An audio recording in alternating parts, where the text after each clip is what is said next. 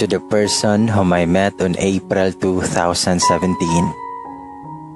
Thank you for making me happy. Ug sa kasakit nga imong gihatag.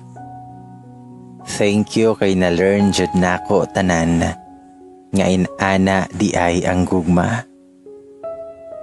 Amping ka. I miss everything about you. I really damn miss you. I miss the old us. I'm so stupid that I still miss you. To you, my one and only, please take care of yourself. I badly miss you. I love you. No matter what happened, I'm always here by your side. Support kita kung saan ka sasaya. Sorry sa mga pagkukulang ko. Sana magstay ka pa rin sa akin kahit napakalabo na. Thank you for coming into my life. Sorry kung napipilitan ka nang magstay sa akin. Kahit alam kong hindi ka na masaya. Basta andito lang ako. Palagi. Sorry I took you for granted. Sorry snub ko sa una until now. Sorry gikatawan ka namo sa una. Hopefully, dili pa ulahi ang tanan. To you man, I really miss your voice badly.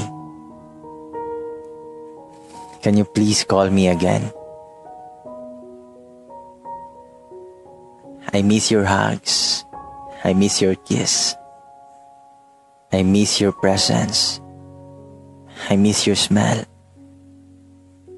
I miss everything about you. I love you to the point that it makes me going insane. I miss you already.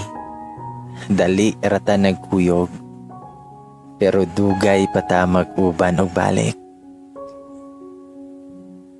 To the person whom I met on April, though I didn't have that chance to meet you personally, but still I'm longing for your presence.